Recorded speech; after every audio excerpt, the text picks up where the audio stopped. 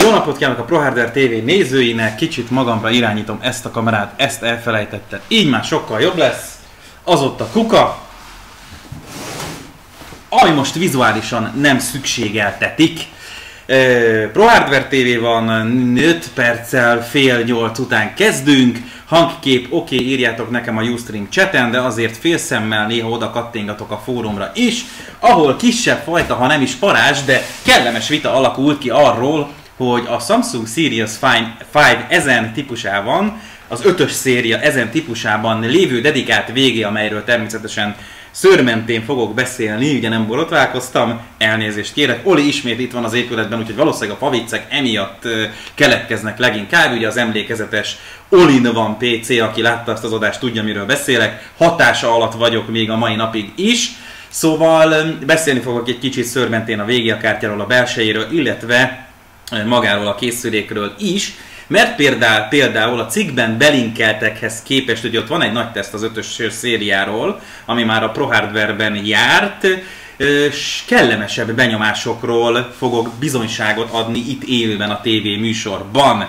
Na, nézzük meg, ő az, aki ide került most az asztalra, becsukom a fedelet csak, hogy az izgalom nagyobb legyen, sőt, eltávolítom róla azt a fóriát, amit eddig észre se vettem, hogy rajta van. Ez az a fólia, teljesen ilyen szépen átlátszó,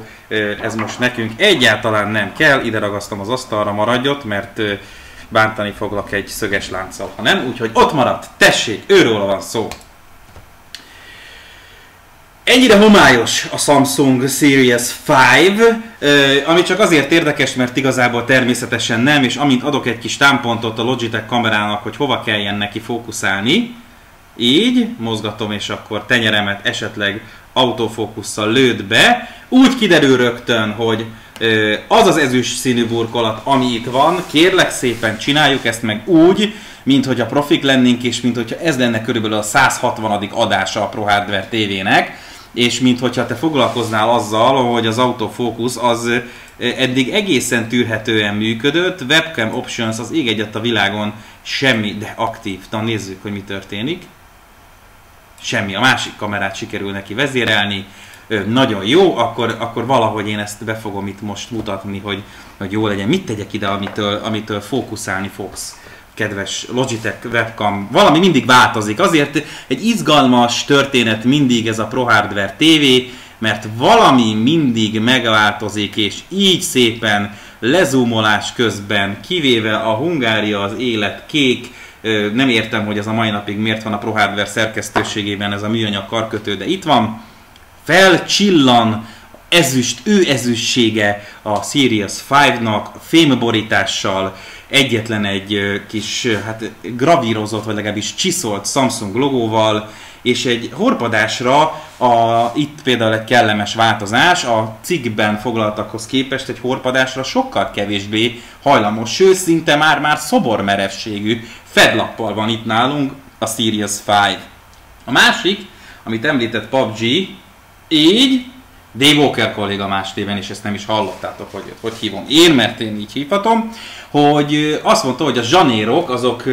bizony hajlamosak felemelni az alját a készüléknek, na most ez nem változott, tehát egy 3 centi nyitás után kénytelenek vagyunk megfogni az alját a készüléknek, de ez legyen a legnagyobb bajunk. Cserébe viszont ez a zsanérzat itt, ami ha tényleg nem is az elejétől végéig zsanér, de ettől függetlenül egy nagyon-nagyon masszívra, kifejezetten jóra sikerült nagyon kellemes, hát látszik, hogyha kinyitja az ember, akkor még egy kicsit ott a zsanér így ellen tart. Kifejezetten kellemesre sikerült, nagyon-nagyon jó minőségérzetet biztosító zsanér ez, és a Rudi kolléga által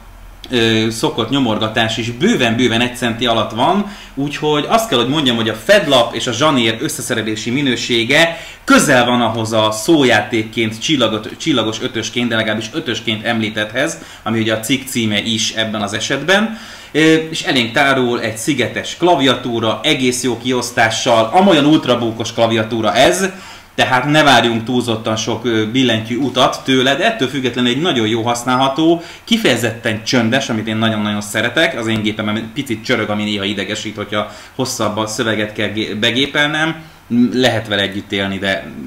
jobb az, hogyha ilyen mondjuk, mint a, az ötös szériának a billentyűzete, és egy nagyon kellemes rugóút az, amivel itt rendelkezik, pontosabban Ultrabookhoz képest egy kellemes rugóút, teljesen használható, nagyon nincs nyomorgatás, az F1, F12 és a felső gombsor van egy kicsit összenyomva, az összes többi billentyűzet teljes értékű, illetve a numerikus billentyűzetet lehet, hogy még le lehetett volna hozni egy kicsit itt lejjebb, hogy ez is teljes értékű legyen. Ennek ellenére teljesen jó használhatók ezek a fél billentyűk is itt a jobb alsó sarokba. A touchpad pedig óriási, természetesen több érintés érzékeny. Itt meg tudom mutatni, hogyha leveszem ezt az undorító hajszálat erről a Maxell elemről, akkor meg tudom mutatni, hogy jócskán nagyobb a touchpad, mint egy ceruza elem, legalábbis magasságra, és szépen végig görgetve látszik, hogy azért ez tényleg egy óriás tévé méretű papipad, amit itt látunk, két különálló gombbal, amit valakik szeretnek, valakik kevésbé szeretik, ez ízlés kérdése, teljesen jól használható a dolog. Extra gombsort nem kapunk, ez egy teljesen klasszikus magyar klaviatúra. Az extra funkciókat, mint például a Samsung gépeknél a már említett akár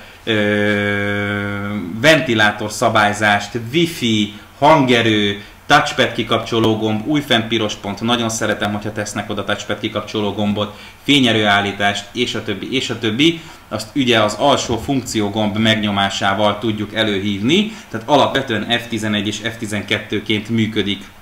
a, a billentyűzet, de egy nagyon-nagyon okos gombot tett pluszban oda föl a Samsung, és ez pedig az FN Lock tehát, hogyha mi most éppen inkább azzal akarunk játszadozni, hogy, hogy a felső gombsor ne az F1 és F12 dolgokat hozza elő, tehát mit tudom én F5-tel nem másolni akarunk, F6-tal áthelyezni, stb. stb akkor az FN lockkal megfordíthatjuk úgymond a polaritását, és onnantól, tehát nem kell BIOS-ban átállítani, erre azért sok gyártó ad lehetőséget, de itt kaptunk egy dedikált hardware gombot azzal, hogy az FN lockot be tudjuk kapcsolni, és onnantól egy érintéssel vagy egy nyomással fényerőt, touchpad kikapcsolás, hangerőt, stb. stb. tudunk szabályozni. Ez nálam abszolút plusz pont, kifejezetten jól jön, hiszen én is sokszor használom az F5-öt eléggé sűrűn, ugye weblap frissítésnél, másolásnál a különböző Commander szoftverekben, stb. stb. De amikor csak szörfölök, böngészek, szórakozok a géppel, tehát nem effektíve fájlokat mozgatok, akkor kifejezetten jól jön, hogy mondjuk egy gombnyomással tudom a hangerőt, hogyha bekapcsolom az F1 lockot, állítani, és ez így teljesen rendben is van. Na, ö, ha már itt vagyunk, akkor, és már megnyomorgattam ugye a tetejét így nagy gyorsan, röptibe, septibe, megnézem, hogy a fórumon közben történt-e valami amelyre azonnal mértékben reagálnom kell, és nem bírok már várni a válaszval. Ö, igen, igen, igen, igen, már, már még mindig a vita, mindig kis vita megy arról, hogy a grafikus kártya, ami benne van, mire elég. Itt vagytok, tehát azért nyilván nem azt várom, hogy itt chat háború induljon el a Ustream chaten, de azért így jelezzétek néha, hogy vagytok, figyeltek, értitek, nem hadarok-e, hadarok, stb. stb. Szóval nagyon szépre sikerült a design, és ha nem is azt mondom, hogy teljesen fémérzetű, mert nem is az a dolog, de a cikkben említett nagyon jó, helyes, helyes, helyes, rögtön kaptam négy hozzászólást, hogy itt vagyunk. A cikkben teljes joggal és már-már ijesztően mutatta be Dave Walker kolléga az ötös, annak az ötös szériának a horpadási jellemzőit, ami a klaviatúrát és ugye a fedlapot is érintette. A fedlapnál már ez a gép rátáfolt, és az ott az első, hogy kipróbáltam, hogy az ott, amit ott láttunk, tényleg ijesztő. Most megnézem, itt is körbe nyomogatom, itt volt a legveszélyesebb, ugye itt, itt van az optikai meghajtómány, mindjárt körbe mutogatom. Ott volt a legveszélyesebb, ugyanis kevés ennyire stabil gépet láttam, amikor itt a gét ékelt meg akartam nyomogatni. Szóval, hogy ez azért messze nem horpad úgy, egy kicsit azért horpad, de erre azért jócskán rá kell tehénkedni. Itt, talán itt van egy kicsit nagyon mozgásra érd, hajlamosság, de ettől függetlenül ezt azért messze úgy mondanám, hogy ez még messze belül van. Amit nem tudok mire, hoppá, itt azért igen, itt azért rendesen horpad fönt a hangszorónál a zsandérnál, ezt megpróbálom nektek bemutatni valahogy. Tehát ott talán látszik. Ott, hogyha nézitek a zsanérhoz képest, akkor itt ezt elég rendesen be lehet nyomogatni. De innentől, tehát ez a rész azért kevésszer fogunk erre rátámaszkodni remélhetőleg, innentől az összes többi, ha talán annyira nem hajlamos, most nem tudom, hogy ezzel mi történt, tehát lehet, hogy az még egy korai sample modell volt, vagy ezt tömték ki jobban, specifikációi szempontjából majdnem tökéletes testvérek, mindösszesen egy betű változat a különbség, ez egy C modell, az pedig egy B modell, ha jól emlékszem a legutolsó betű szempontjából. Ez egészen jól van összerakva, tényleg itt a meghajtó környékén, és mindjárt megmutatom, hogy oldották meg a meghajtót, van egy pici horpadási hajlam, de hát ez még messze azon belül van, hogy az ember bőven rátámaszkodik, billentyűzetet tud használni, működik a dolog. A fedlap az sokkal-sokkal szebb és jobb, mint amit én ott a videóban láttam. Itt vannak nyomai, de ennek ellenére számomra kellemesen meglepetés, rosszabbra számítottam az alapján, a videó alapján. Ez mindenképpen jó, tehát lehet, hogy akár, mivel ez nem egy túlzottan friss modell, lehet, hogy ezen az új lenyomatokat viszont nagyon szereti megtartani a fedlap, lehet, hogy ezen egy picit valahogy csiszolt a Samsung. Na nézzük körbe balról jobbra, itt van és próbálom úgy mutogatnom, hogy azért lássátok. Itt van ez az egész érdekes megoldású. Talán látszik, hogy az ott végig az egy optikai meghajtó ajtó. És ebben van egy ilyen kis törés, hogy ezt a dizájnt, amit hoz a Sirius 5, ahogy a csillog a fény, látjátok, itt szépen le van kerekítve. Nekem ez kifejezetten tetszik, bár osztom azt a véleményt, hogy egy slotin meghajtó valószínűleg a dizájnban jobban illett volna, tény, hogy drágább lett volna. Tehát itt lehet az optikai meghajtóhoz hozzájutni. 14 szolos gépről beszélünk, tehát ebben már az ultrabookok között is lehet specifikáció szempontjából optikai meghajtó egy 2.0-ás USB és egy 4 az 1-ben kártyaolvasó, amit a jobb oldalon találunk, mindössze ennyi. Ami azért jó hír, mert a jobb oldalon minél kevesebb olyan dolog van, amiből kábel lóghat ki, az a jobbkezeseknek annál jobb hír. Ha előre megyünk,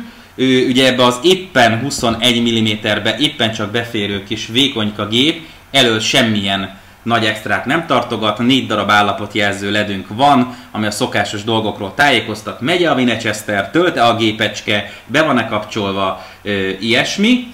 Hogyha átérünk a bal oldalra, itt aztán már van egy-két érdekes csemege, egy furcsa lancsatlakozó, ezt már Samsungéknál láttuk, így le kell nyitni, és akkor fél bele a lankábel. Amúgy így összecsukva szépen beleillik az USB csatik dizájnjába és magasságába. Ugye itt a tápcsatlakozó, kettő darab 3.0-ás USB, egy VGA kimenet, egy HDMI kimenet és egy fejhallgató mikrofon kimenet egyben. Ez található a készülék bal oldalán, illetve alul van egy ajtó, amely ö, azt mondja, hogy HDD és memory, tehát ezen az ajtócskán keresztül memóriát tudunk bővíteni, ami nem fog kelleni, mert ez a gép készülék, ez a gép készülék kérem szépen 8 GB-tal ki van sámpázva. Ennyit tud, azt gondolom, hogy alapvetően az úgy elég is. Legalábbis, ha jól emlékszem, akkor ez a, ez a nagyon meglepő 8 GB RAM tartalma vagy van belül. Tehát még így ultrabukokhoz képest hozzá tudunk férni a belsejéhez is, legalábbis a legfontosabb komponensekhez. Ha ki akarjuk cserélni az amúgy 500 GB-os vinyót, akkor ki tudjuk cserélni mondjuk SSD-re, bár van hozzá egy ilyen 24 GB-os Express Cache, ami gyakorlatilag amióta vannak ezek a hibrid meghajtók, azóta tudjuk, hogy igazából ez egy ilyen tanulékony része a Winchesternek, ahova a sűrűn használt ö, szoftverek a gyorsabb futásért el, tudják, el tudnak pakolódni, a rendszer figyeli, és a sűrűn használt szoftvereknek a darabjait eltárolja oda, ezáltal gyorsabb lesz, már-már SSD-szerű, nyilván annyira nem lesz gyors, de mindenképpen ott helyet kapnak azok a szoftverek, tehát ezt egy idő után megtanulja szépen a rendszer, és működik. Örömhír, hogy a 14 szoros kijelző egy nagyon szép vékony kávában kapott helyet, és mint látjátok, teljesen matt, amit még így ez a telibe világított reflektor is csak kicsit tud el, vagy kicsit tud becsillantani, viszont ha jól látom, és talán ti is úgy látjátok, akkor pontosan ugyanaz a képfrissítési frekvenciája ennek az 1360x768-as kijelzőnek 14 szolon, mint ami Logitech kameránknak, éppen ezért van rajta az a jó kis Cheek TV effekt, amit láthattatok. Na, lett egy kis nyúzás AIDA szempontból, Ö, jó, ö, mindenkinél jó, egy felhasználónknál van valami Ustream-es probléma. Az utóbbi időben hál' Istennek elég stabil, amióta bogék, és innen köszönöm, hogy meghekkelték, megreszelték a Ustream-et úgy, hogy egészen stabilan tudunk adni ebben a formátumban, amit kitaláltunk így magunknak. Így van, fönt lesz a YouTube-on, úgyhogy vissza tudod esetleg ezt nézni. Szóval Aidával és most már előre a Live Essentials-t, ugye az én nagy ellenségemet itt teszt közben frissítettem. Fényerőt fölvesszük, hogy azért majd látszom. Elindítottam, és ez futott egy olyan 24 percig. Tartottam attól, hogy egy ennyire telezsúfolt gép mennyire lesz hangos és mennyire lesz hajlamos arra, hogy túl hevüljön, és itt is nagyon-nagyon-nagyon kellemes meglepetéseket okozott a Series 5, amit hogyha sikerül beállítanom úgy a kamerát, hogy nem kókad, fittyed, billen le, akkor meg tudok mutatni. Ugyanis kérem szépen 24 perc után azt mondja nekem az AIDA, hogy a maximum hőmérséklet, amit mért, az alaplapon volt, nem, az egyik CPU volt a legmagasabb 76 fok, az alaplap 75 fok, ezek a maximumok, de 74, 76, 75, ez volt az alaplap és a processzor környéke. A, hol van? A, Ja, hogy igen, hogy ő most ezt úgy érezte, hogy ez valószínűleg egy SSD van benne, ami nem igaz,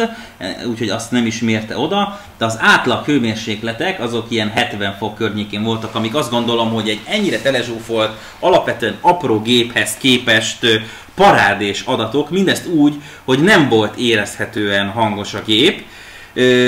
ULV-s procival nem is melegedhet jobban, ez így igaz, ez így igaz,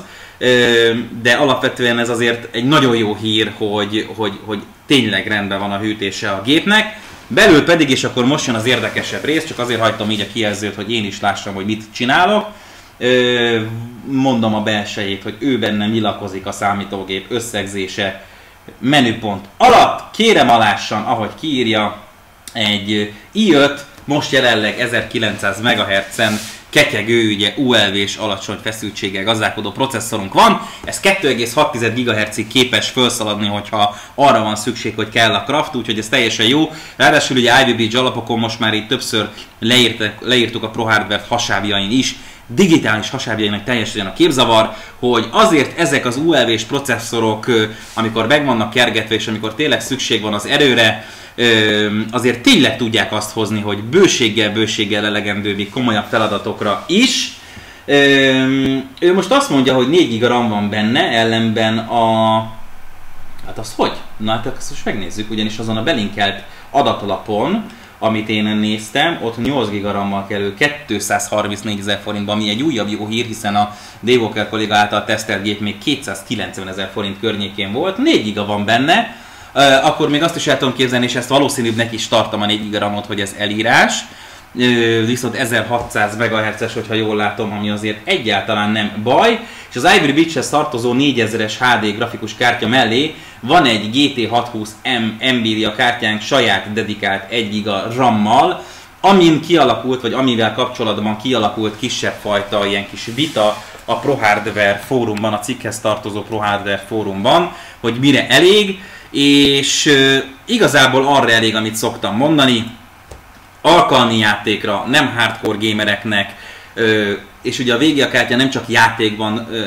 hozhat szerepet, hanem például egy csomó jobbfajta multimédia lejátszó Full HD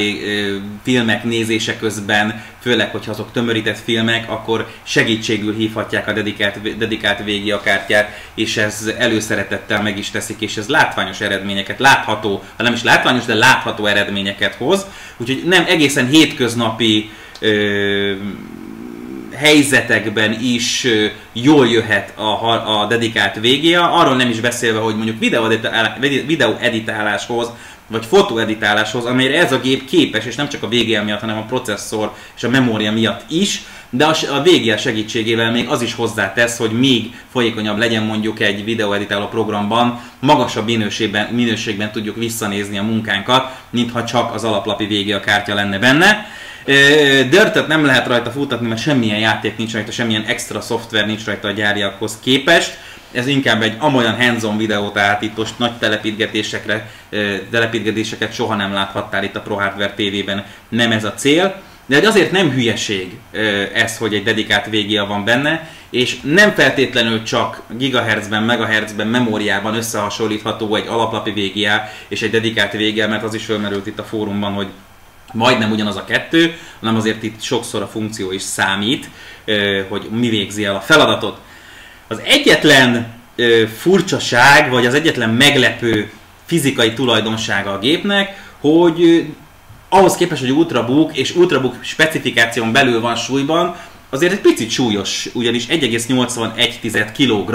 ami hát nyilvánvalóan röhely, tehát ez még maximálisan a hordozhatóság kategória, de ez inkább abban segít, hogy olyan, figyelj, ebbe azért van anyagérzetet biztosít, amikor először kikapja az ember, tehát sokkal könnyebbre számít, mint amikor először a dobozból kiszeded, és ez a jó érzés az embernek, hogy, hogy igen, ebben valószínűleg van anyag, van benne kraft. Na, Ugye említettem, hogy 290 ezer forint környékéről indult még a Sirius 5 annó, amikor pár hónappal ezelőtt itt debutált a magyar piacon. Ehhez képest most ez a gép, azt írják ugye itt a notebook specialistánál, hogy 8 GB DDR3-as RAM-mal 235 ezer forint most pici akcióban, ami viszont ebben a csomagban a mat kijelzővel, ezzel a hardverrel, egy 5 órás, cég által mondott 5 órás, de szerintem 4 órát azért egészen jól hozó, nyilván nem erős hajtás mellett, de egy 4 órát biztosan hozó akuidővel, beépített optikai meghajtóval, kifejezetten jó dizájnnal, jó zsanérral, az elviselhetőség határain messze-messze belül lévő készülékházzal, összeszerelés és horpadás szempontjából. Ez nálam abszolút egy ilyen, ha nem is egy különösen ajánlott, de egy nagyon tetszett és az ajánlott virtuális plesni közötti értéken lebeg az ötös széria, kifejezetten egy kellemes meglepetés, főleg ezzel az árral párosítva. 290 ezer forintért egészen biztosan nem mondanám azt, hogy, hogy, egy, hogy ezen a szinten, ezen az ajánlott plesti környékén mozog. És utalva arra, hogy a fórumon egy kolléga megkérdezte, hogy kinek jó ez a gép, én például személy szerint, ugye általában magamból szoktam kiindulni több szempontból is, jó ez, hiszen egyrészt egoista vagyok, másrészt meg én vagyok magamhoz a legközelebb általában, és elég jól is ismerem magam, hogy nekem azért alapvetően fontos, hogyha egy gép nem csúnya, keskeny, kecses, hordozható, cipelhető, sokat mozgok, de emellett van benne craft. Nyilvánvalóan ezért a 235 ezer forintért erősebb gépeket, erősebb processzorral, erősebb végiával is lehet találni, de azért ez a csomag együtt, és azt gondolom, hogy már létjogosultságát bizonyította a marketing bullshiten felül is az ultrabook kategória, tehát igenis szükség van rá, és jól fogynak az ultrabookok, pontosan azért, mert azért van köztük olyan gép, mint például az ötös széria, ami ebben a konstellációban, hogy azért ultrabook, hogy azért trendi, de azért erő is van benne, mat kijelzőt kapunk, odafigyelt a részletekre a Samsung, ennek igenis van létjogosultsága, és azért ez a 60 ezer forint körüli áresés, ez, ez egy elég combos áresés, ami kifejezetten jót tett annak, hogy a bérleg nyelve merre, merre billenjen mondjuk a Sirius 5 esetében. Na, itt vagyok, hát gyors vagyok, mint az villám, a chaten, illetve a fórumon is lehet kérdezni. Dirt 3 elvileg elmegy rajtam közepes beállításokkal, írja az egyik kolléga a Ustreamen. Nem rossz gép, csak ennyire talán már nagyobb presztízsű gépet is lehet venni, már mint brandben. Ez érdekes dolog, és esetleg egyszer erről lehet, hogy lesz is egy Pro Hardware TV, bár nem biztos, hogy ezt én meg fogom kockáztatni, de azért az elmúlt 2010-ben indult a PH TV, és hát nem meglepő módon azért előtte is foglalkoztam technológiai újságírással, és így garázdálkodtam mobiltelefonok, laptopok, stb. stb. stb. stb. multimédia lejátszók környékén. Ö, azt kell mondjam, hogy látványos az, ahogy a brandek önmagukat definiálják, pozícionálják, és ez pro-kontra működik. Őrint, érintős verziója mikor várható Win 8-al, hát ezt én innen biztos, hogy nem fogom tudni neked megmondani. Erről a Samsung előszeretettel és nyilvánvalóan jó időben fogja tájékoztatni a különböző IT szaklapokat, és aztán vagy ezzel egy időben a nagy közönséget is. Nem biztos, hogy én az érintő kijelzőt preferálnám, abból a szempontból, hogy szeretem az érintő kijelzőt, notebookon még nem annyira szeretem az érintő kijelzőt, aztán visszakapcsolódok oda, hogy a brandek hogy pozícionálják magukat, de notebookon nem feltétlenül ragaszkodnék az érintős verzióhoz, illetve egészen biztosan irreálisan megdrágítaná a készülék árát, Oké, okay, ez lehet egy opció, hogy valaki kéri a Series 5-ot érintő kijelzővel, és az kifizeti azt a plusz sok tízezer forintot, ebben egészen biztos vagyok,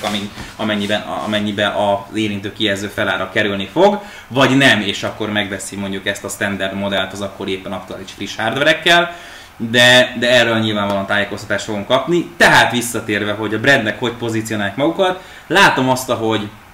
az annó még alsó kategóriába, alsó közép kategóriába öm, pozícionált brandek hogyan jönnek föl szépen, ha nem is teljes termékpalettával, de jól láthatóan, masszívan érezhetően már sokkal több a magasabb pozícióban, magasabb minőséget képviselő készülékük, mint annó, és ugyanakkor sajnálatos módon látok egy-egy gyártónál, és itt ezért nem akarnám ezt előhozni, talán ezt a ezt a műsort, hogy ezért nem gondolnám azt, hogy ennek a műsornak létjogosultsága van, mert én sem ismerhetek minden cégnek minden márkáját, vagy minden, minden készülékét, de bizony-bizony látok egy-két cégnél komoly hanyatlást is abból a szempontból, hogy ahová mondjuk 3-4-5 évvel ezelőtt pozícionáltuk azt a márkát, ahhoz képest most már lejjebb van, vagy lehet, hogy nincs is lejjebb, csak a többiek zárkoztak föl jól, és ezt már többször elmondtam a Samsung esetében, hogy a Samsungot leírni bármilyen szempontból orbitális balgaság megcsinálta magát a legnagyobb, az egyik legnagyobb nem iOS-es mobil kommunikációs, mobil készülékgyártónak és mobilgyártónak, megcsinálta magát, tényleg az elején voltak gyermekbetegségei a notebookjainak is mind minőségben, mind minden szempontból, most pedig már egyre inkább úgy látszik, hogy átfordul abba a dolog, hogy megpróbálják a trendeket ők formálni, illetve nagyon-nagyon hamar, nagyon jól reagálnak a különböző trendekre. A gépeikben már nem nagyon-nagyon lehet belekötni, sem árban, sem funkcionalitásban, úgyhogy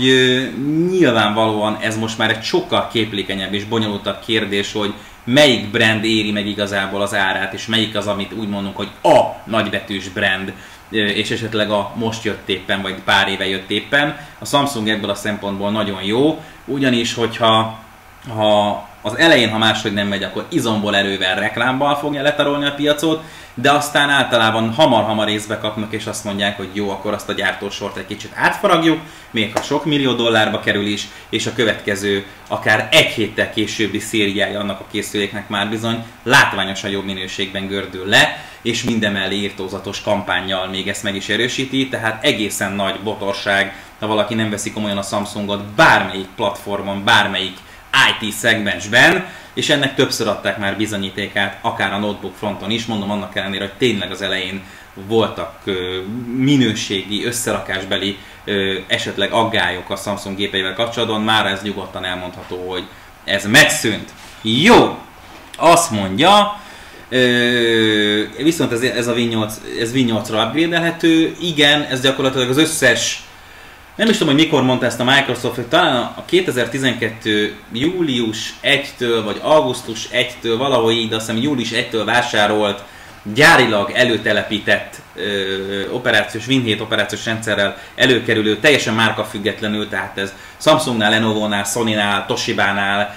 Acernél, Fujitsu-nál, mindenhol, mindegy, Asusnál, mindenhol működik tehát erre nem emlékszem csak a dátumra, de egy bizonyos dátum után, amit már elhaladtunk, tehát ha valaki most vesz Win 7 gépet, az egy majdani 4500 forintos extra költségért frissíthet Windows 8-ra, és ha jól emlékszem, akkor a rendszer is úgy működik, hogy a Win 7-es a gép alján, illetve a dobozban található Windows ö, ö, kóddal fogja tudni használni, a Windows 7-es kódjával fogja tudni használni a Windows 8-at is, Sőt, még downgrade-re is lesz lehetőség, tehát ha valakinek ezért a 4500 forintért letölti, beüti ugyanazt a széria számot, elfogadja, föltelepül, stb. Beállítások, stb. Microsoft szerint ezt majd azért ki fogjuk próbálni, de Microsoft szerint minden ugyanúgy marad, asztal, dokumentumok, fájlok, beállítások, minden, csak egy Windows 8 kerül a gépre, de ha valakinek ez nem tetszik, akkor vissza tud váltani Windows 7-re mindenféle extra költség nélkül, és mondom, ez mindenféle márkától függetlenül. Aki most ezt nyugodtan kimerem jelenteni ettől a naptól Windows 7-es előre telepített notebookot vásárol,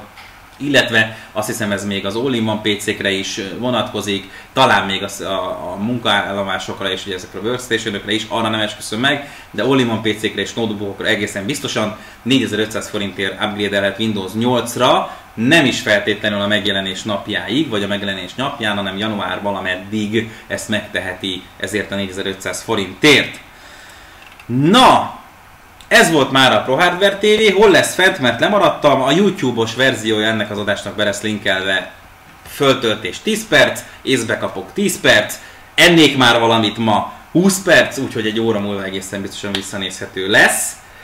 Én azt mondom, hogy inkább hajlok az ajánlott plecsni felé a Series 5-val, ezzel, ezért az árért, ezt a gépet, inkább az ajánlott plecsni felé, tehát ilyen ajánlott alá, hogyha lehet egy ilyen, egy ilyen, egy ilyen négyes fölé ötös alát adni, akkor én ezt megelőlegezem a Sirius 5-nak. Egy nagyon kellemes, korrekt kis gép ez, csomó olyan pici apró dolggal, ami fontos, mat kijelző, jó processzor, jó design, eléggé ö, masszív akuidő, tehát ö, igazából tényleg nincs ezzel semmi gond, és egyre többször kell ezt elmondanom, úgyhogy lassan azt kell, hogy mondanom, azt kell mondjam, hogy ö, hogy lehet, hogy egy kicsit saját magam szempontjából szigorítani kell, bár ez nem feltétlenül igaz már, mint ezeken a megítéléseken, de egyre többször egyre több gyártó lett meg azzal, hogy, hogy most már sokkal inkább az én igényeimnek, vagy az én elvárásaimnak és az általam tapasztalt gépekhez képest is egy picit magasabbra teszi a lécet, ami nekünk jó, nektek jó, nekem jó, mert ha oda kerül a dolog, hogy gépet kell vásárolnunk, nyugodtan kimerem jelenteni, hogy most már nagyon-nagyon kellemes listából tudunk válogatni adott árérték arányban kinek milyen mély a zsebe, és ez jó. Ez mindenképpen nekünk lesz jó. Na, ez volt már a Pro Hardware TV, csütörtökön találkozunk, halvány lila segédfogalmam sincs, hogy mivel, de az biztos, hogy találkozunk, úgyhogy szevasztok! Jó további kedd és szerdát és csütörtökön. Jövünk holnap Mobil Arena TV este 6-kor. Szevasztok! Thank you.